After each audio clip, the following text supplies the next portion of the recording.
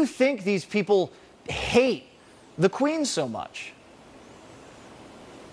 Well, I mean, a big part of it is that they're idiots, and so you can't just count that.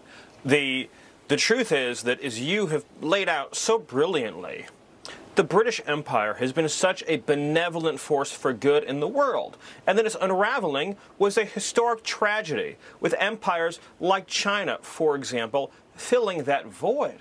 If you look all around the world today, what is the legacy of this empire? The rule of law, self government, natural rights, property rights, an independent justice system. Basically, everything Joe Biden is trying to destroy right now is something that was wonderful that the British Empire had. And as you pointed out, yes, we rebelled against Britain, but to control our own destiny, to self govern, using those natural rights, expanding the British system of common law into what we have today.